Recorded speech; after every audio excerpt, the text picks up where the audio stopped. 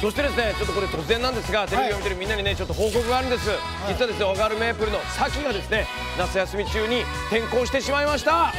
そうなんですよ。ちょっとね寂しいです。けどちょっとねさっきからメッセージが届いてるんでちょっと見てください。どうぞ。お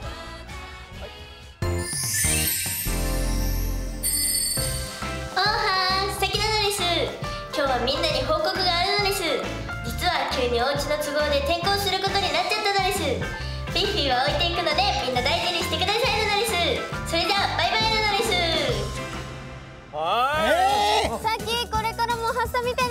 応援してね。うん。僕のことだけ応援してね。自分だけまあでもねみんなもねもしかしてね転校とかって周りで友達でもあるかもしれないけど離れても友達だからな。